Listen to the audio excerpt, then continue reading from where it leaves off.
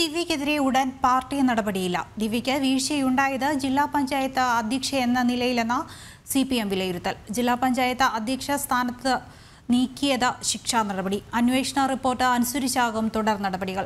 C P M സംസ്ഥാന secretariat യോഗത്തിലാണ് തീരുമാനം. വിവരങ്ങളുമായി തിരുവനന്തപുരത്ത് നിന്ന് പ്രജിത് മോഹനുണ്ട്. പ്രജിത് എന്തൊക്കെയാണ് വിശദാംശങ്ങൾ? പി പി ദിവ്യക്കെതിരെ കാര്യമായ പാർട്ടി നടപടി ഉണ്ടാകില്ല എന്ന രീതിയിൽ തന്നെയാണ് ഇപ്പോൾ സി പി എമ്മിന്റെ ഒരു നിലപാട് വന്നിരിക്കുന്നത് നേരത്തെ ജില്ലാ പഞ്ചായത്ത് പ്രസിഡന്റ് സ്ഥാനത്ത് നിന്ന് നീക്കിയത് ഉചിതമായ ശിക്ഷാ നടപടി എന്നുള്ളതാണ് പാർട്ടി സെക്രട്ടേറിയറ്റിന്റെ വിലയിരുത്തൽ.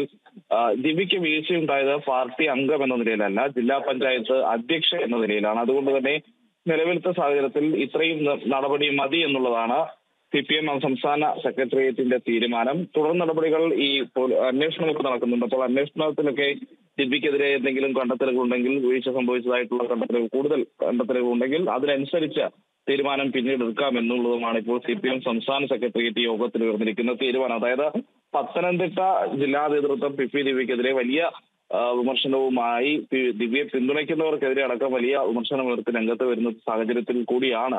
അതിന് പിന്നെ എന്നിട്ടും അങ്ങനെ ഒരു വിമർശനം ഉയർന്നിട്ട് കൂടിയാണ് സി പി എം സംസ്ഥാന സെക്രട്ടേറിയറ്റിൽ സി പി രവിക്കെതിരെ പാർട്ടി നടപടി ഉണ്ടാകുന്ന വേണ്ട എന്നൊരു തീരുമാനത്തിലേക്ക് പോയതെന്നും ശ്രദ്ധേയമാണ്.